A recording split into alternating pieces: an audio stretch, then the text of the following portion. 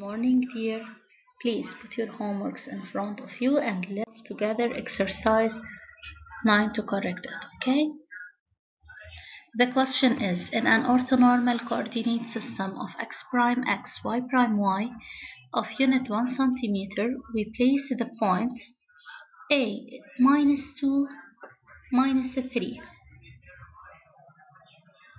B plus 4 minus 3. Okay, we know how to plot these points. C plus 4 plus 2. The abscissa is plus 4 and plus 2 it means 2. I have to go up two steps. This is point C.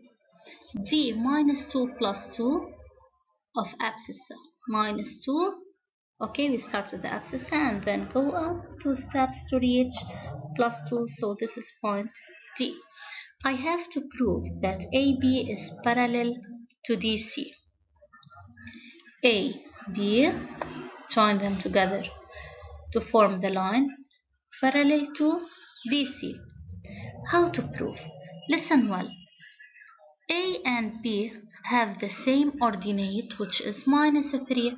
We can see it on the graph or above from the given. A and B have the same ordinate. So, the line AB is parallel to x-axis, right? Also C and D have the same ordinate which is plus 2. So also C and D is parallel to x-axis, right? We know that if two lines are parallel, any line parallel to one of them is parallel to the other, right? Here AB is parallel to x prime x and CD is always parallel to x prime x. So clearly AB is parallel to CD. Okay, look here. AB is parallel to DC. Points A and B have the same ordinate. So they are parallel to x prime x. C and D have the same ordinate plus 2. They are parallel to x prime x. Since AB and DC both are parallel to the same straight line, so they are parallel to each other. Okay? Now, I have to prove that AD parallel to BC. A and D, they have the same abscissa, which is minus 2. Okay? So this is line AD since they have the same abscissa then I can say that AD is parallel to Y prime Y. Again uh, it's parallel to BC. Let's look at B and C. They have the same abscissa. So also they are parallel to Y prime Y. Since AD is parallel to y prime y and CB is parallel to y prime, then I can say that AD is parallel to BC. Okay? Now let's solve exercise 11. Observe the axis x prime or x below. Name two points of x prime x located at the same distance from origin O. Here, this is original. Having the same distance. I can say I since at 1 there is nothing opposite to it. Okay, uh, we can make things easier by writing here plus 2 plus 4. So it's plus 1 plus 2 plus 3 plus 4 plus 5 etc.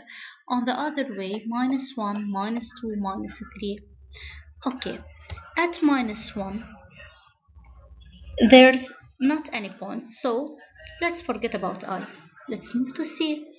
Minus 2 the opposite of minus 2 is plus 2 okay since there the sum of the opposite numbers equals to 0 again there's nothing at 2 so let's forget about c. Now b is at minus 3 of abscissa minus 3 and a is the abscissa of plus 3 since they are opposite numbers, so they have the same distance from 0. Okay? How are their abscissas? x of a is plus 3 and x of b is minus 3, they have opposite abscissa.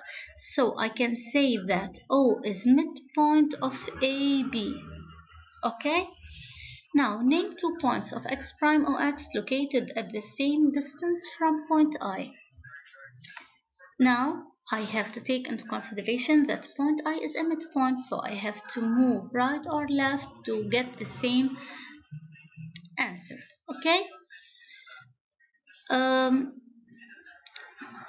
there is not any point that is symmetrical of O with respect to I. Let's move to A. Again, two steps here, two steps there. There is not any point symmetrical to A. C, also there is not a symmetrical point. From I to E, the distance is 4. From I to B, the distance is always 4, is also 4, sorry. So I can say that B and E have the same distance from point I, or another way, B is symmetrical of E with respect to I, or E is symmetrical of B with respect to I, which means that I is the midpoint of B E. Okay? Now, what are the abscisses of these two points? The abscissa of E is plus 5.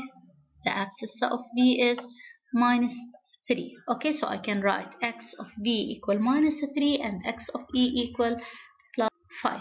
Please write the answers on your classwork copybook and hand in your work and the assignment. Take care of yourselves. Bye bye.